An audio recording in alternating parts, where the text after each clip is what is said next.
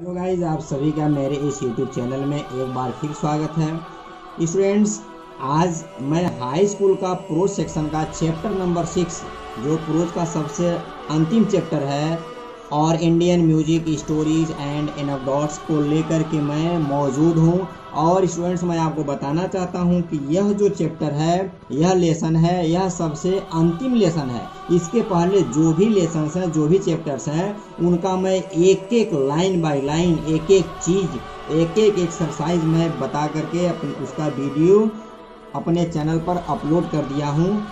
अगर आप पहली बार मेरा यह वीडियो देख रहे हैं तो आपसे मैं यह निवेदन करना चाहूँगा कि आप इस वीडियो के डिस्क्रिप्शन बॉक्स में जाइए और इसके पहले जितने भी चैप्टर्स हैं, उन सभी का question answer fill in the blanks list A list B और जो भी इसका एक्सप्लेनेशन है, हिंदी में, इंग्लिश में एक एक चीज़ अपलोड किया हुआ है, आप वहाँ से देख सकते हैं। तो स्टूडेंट्स आज का जो हमारा चैप्टर है, और Indian music stories and anecdotes इसको लिखने वाले आर श्रीनिवासन हैं। इनका जीवन काल अठारह सौ उनसठ से 1945 तक रहा है।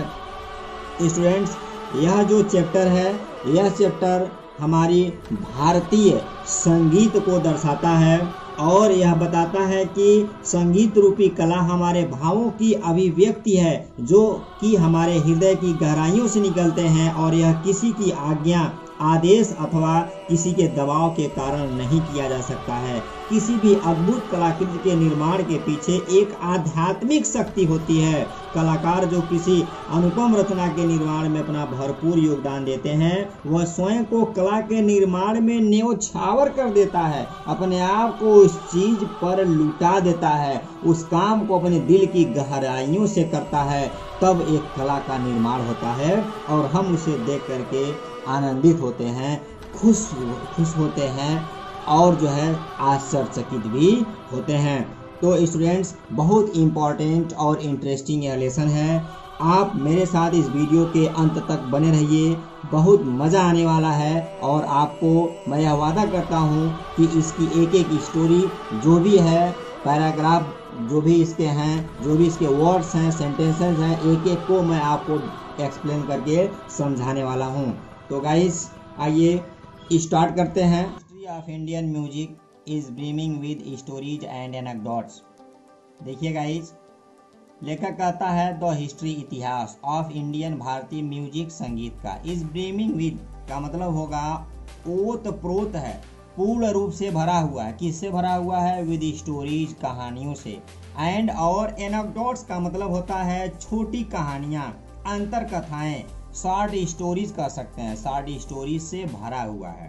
अर्थात भारतीय संगीत का इतिहास, कहानियों तथा अंतर कथाओं से ओत प्रोत रहा है, से भरा हुआ रहा है।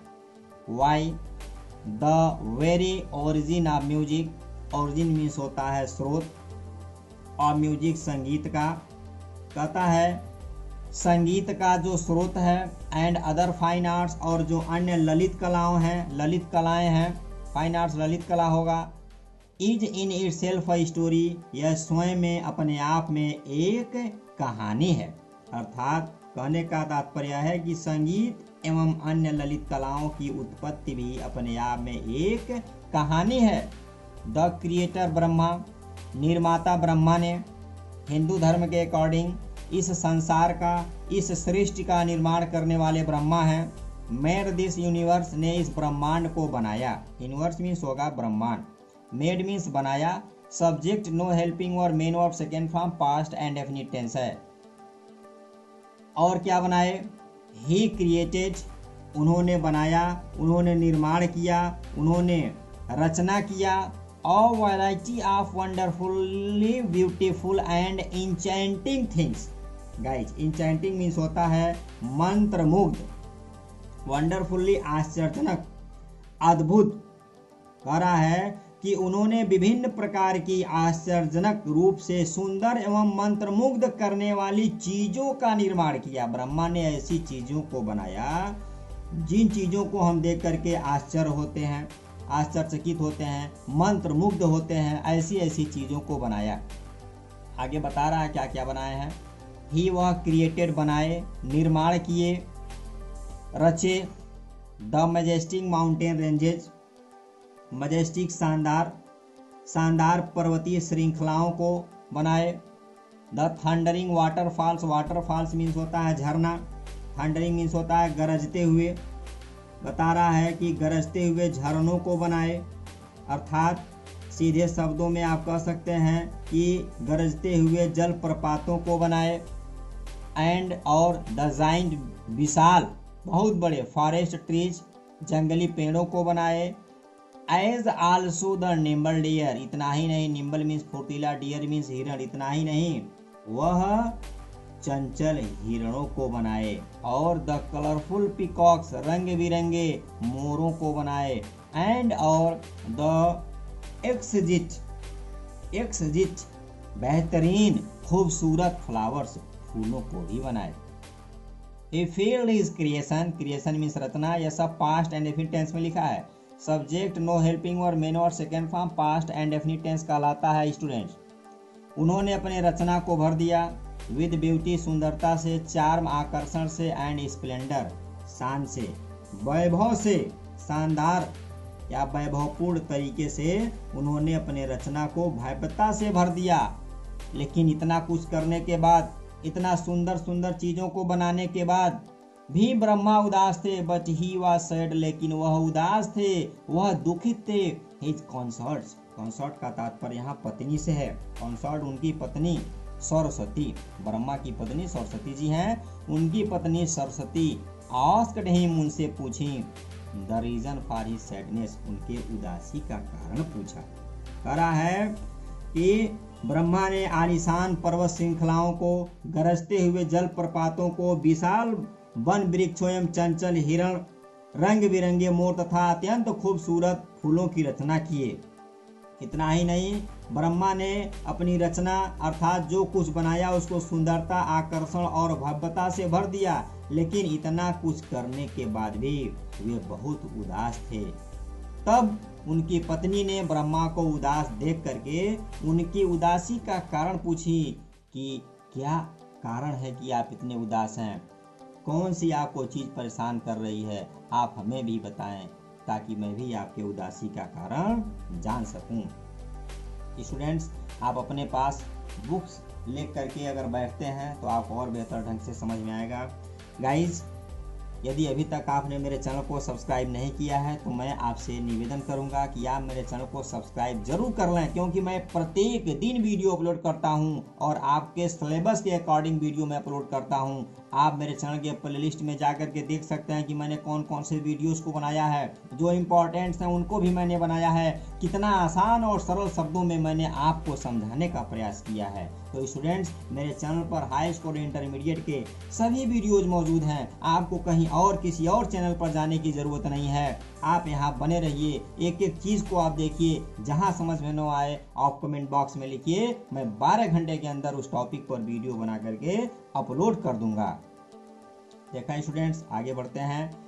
ब्रह्मा सेज। ब्रह्मा ने कहा ये जो भी लिखा है सब पास्ट एंड टेंस में है। सीधा इसका पहचान होता है। सब्जेक्ट के बाद सीधे वर्ब की सेकेंड फॉर्म हो। सब्जेक्ट नो हेल्पिंग और मेन और second form past and definite tense होता है।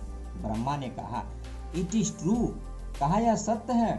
I created present perfect tense है। सब्जेक्ट हैज़ है वी थ्री मैंने बनाया है। मैंने बनाया है। मैंने रचना किया है। ऑल दिस वंडर इन सभी आश्चर्यजनक एंड चार्म आकर्षक एंड एंड और सॉर्ड बिखेर दिया है। ब्यूटी सुंदरता एवरीवेयर हर जगह। ब्रह्मा जी ने कहा, यह सत्य है कि मैंने इन अद्भुत एवं मोहक चीज़ों की रचना की है, तथा चारों ओर सुंदरता को बिखेर दिया है। But what is the use लेकिन इसका क्या उपयोग है? इसका क्या फ़ायदा है? इससे क्या लाभ होने वाला है? माई चिल्ड्रेन जो मेरे बच्चे हैं जो मेरे संतान हैं द ह्यूमन सोल्स जो मानवीय आत्माएँ हैं, सिंपली पास देम बाई इनको नजरअंदाज कर देते हैं, इनके पास से गुजर जाते हैं। इतना ही नहीं they do not seem to be sensitive to the beauty around sensitive संवेदनशील होना। ये जो मानवीय आत्माएँ हैं, ये अपने चारों तरफ़ फैली हुई सुंदरताओं को देख करके जो है, जो भी चीज़ें हैं, वे संवेदनशील नहीं दिखाई देते हैं। वे इनमें कोई इंटरेस्ट ही नहीं लेते हैं। मैंने उनके लिए इतनी सुंदर सुंदर चीज़ों को बनाया हुआ है। आगे ब्रह्मा कहते हैं इट सीम्स ऐसा लगता है to have been wasted on them कि जो भी मैंने परिश्रम किया हुआ है, जो भी मैं उनके लिए बनाया हूँ, ये सारी चीज़ें सब के सब व्यर्थ हैं। सारी चीज़ें उनके लिए बेकार हैं। This creation seems to be purposeless यह जो रचना है, यह जो मैंने सृष्टि किया है, यह उद्देश्यहीन दिखाई देती है, क्योंकि मेरा जो बनाने का मकसद था, मैं जो सोच समझ करके बनाया था, वह मेरा मकसद व उद्देश्य मेरा पूर्ण नहीं हो रहा है। मैं धरती के इंसानों के लिए, यहाँ मानवीय आत्माओं के लिए इन सुंदर चीज़ों का निर्माण किया था, इतने अच्छी अच्छी चीज़ों को बनाया था। बट जब वो देखते हैं तो देख करके इन्हें नज़रअंदाज कर देते हैं। इनमें वे लोग किसी इंटरेस्ट को लेते ही नहीं है। आगे देखिए। Next paragraph Saraswati understood his feelings Saraswati उनकी भावनाओं को समझ गई एंड टोल्ड हिम और उनसे कही वेल well, ठीक है let me do my share in this great work मुझे भी इस महान काम में आप हाथ बटाने दीजिए। मुझे इस महान काम में आप हाथ बटाने दें। मुझे भी इसमें हिस्सेदारी लेने दें। मुझे भी अपना योगदान देने दीजिए। You have created all this beauty you have created आपने बनाया है, आपने निर्माण किया है ऑल दिस ब्यूटी इन सभी सुंदरताओं का, इन सभी सुंदर चीज़ों का एंड स्प्लेंडर इन वैभव का, इन सुंदर चीज़ों का I have create in our children the power to respond power to respond प्रतिक्रिया करने की क्षमता मैं अपने बच्चों के अंदर इन जो मानवीय लोग हैं, इनके अंदर मैं प्रतिक्रिया करने की क्षमता पैदा करूँगी टू एप्रिशिएट प्रशंसा करने की क्षमता पैदा करूँगी and be uplifted by them और उनसे प्रेरित होकर ऊँचा उठने की क्षमता पैदा करूँगी। इतनी काम को आप मुझे करने दें। हो सकता है कि इससे जो ये लोग हैं, इनके ऊपर कोई असर ज़रूर पड़ेगा। स्टूडेंट्स, आगे देखिए, फिर क्या होता है? कहती हैं कि I shall give them music मैं उन्हें संगीत दूँगी एंड अदर आर्ट्स और अन्य रचनाओं को दूँगी which will draw out from deep within them the capacity to, re to respond to the majestic splendor and exquisite charm and wonders beauty of all creations देखें क्या कहती हैं कहती हैं कि मैं उन्हें संगीत तथा अन्य ललित कलाएँ दूँगी अन्य कलाओं को दूँगी जो उनके अंदर इन रचनाओं की शानदार भव्यता एवं असीम आकर्षण तथा अद्भुत सौंदर्य के प्रति अपनी प्रतिक्रिया करने की क्षमता प्रदान करेंगे। उन लोगों के अंदर मैं ऐसी चीज़ों को दूँगी, ऐसी चीज़ों को ऑर्जिन करूँगी कि ये लोग जो मानवी लोग हैं, जो मानव हैं इस धरती के, वो आपके बनाए हुए चीज़ों में इंटरेस्ट लेंगे, उसकी प्रतिक्रिया करेंगे। देखिए गाइज़ आगे क्या होता है? लिखा है कि द ग्रेट म्यूज, तब महान स्वर सामग्री देवी अर्थात ज्ञान की देवी अर्थात सरस्वती ने गेव दी अस हमें म्यूज़िक, संगीत एंड अदर फाइन आर्ट्स और अन्य ललित कलाओं को दी। इन द होप इस आशा से दैट की थ्रू देम उनसे man would understand something of divine in his manifestation means होगा रचना। करा है कि तब महान स्वर सामग्री देवी सरस्वती ने हमें संगीत एवं अन्य ललित कलाएँ इस आशा के साथ दी कि मनुष्य इनके द्वारा अपनी अभिव्यक्ति में दैवीय अंश को समझने लगेगा। इनमें दैवीय चीज़ों को वह पाएगा। और स्ट्रेंज स्टोरी, एक अजीब, एक बिल्कुल एक विचित्र कहानी है। एस हाँ but it has a great moral. लेकिन इस कहानी में एक नैतिक शिक्षा, एक नैतिक सीख भी मिलती है। स्टूडेंट्स, अब तक आपने जो पढ़ा, उसका मैं आपको एक मोटी मोटा समरी बता दूँ कि ब्रह्मांड का जब निर्माण हुआ, ब्रह्मा ने अपने समझ के अनुसार जब सुंदर चीज़ों का निर्माण कर दिया, सुंदर झरने बनाए, मोर बनाए बड़े बड़े वृक्ष बनाए, सुंदर पर्वत बनाए सुंदर सुंदर फूलों को बनाए, न जाने क्या क्या उन्होंने बना दिया और बनाने के बाद वह उदास हो गए। क्योंकि वह यह सोच करके बनाए थे कि जिन चीज़ों का मैंने बनाया है, जिन चीज़ों का मैं निर्माण किया हूँ, जब इन चीज़ों को धरती के लोग मानव इसे देखेंगे तो वे इसकी प्रशंसा करेंगे। वे आश्चर्यचकित होंगे, बट उन्होंने कोई प्रतिक्रिया ही नहीं दिया। इस वजह से ब्रह्मा बहुत उदास थे। उनकी उदासी को देख करके सरस्वती उनके इस कारण को पूछी और उन्होंने अपने इस वजह को बताया कि मैंने जो भी सोच समझ करके रचना किया था उसका कोई मतलब कोई उद्देश्य नहीं रहा। पुनः सरस्वती ने कही कि मुझे भी थोड़ा सा इस काम में हिस, जो है हिस्सा लेने दीजिए हाथ बटाने दीजिए। और उन्होंने सरस्वती ने धरती के लोगों को संगीत और ललित कलाएँ दी। और ताकि इसके माध्यम से जो लोग हैं, वह ब्रह्मा के द्वारा बनाई गई चीज़ों में आनंद ले सकें, उसके लिए उसके ऊपर प्रतिक्रिया कर सकें।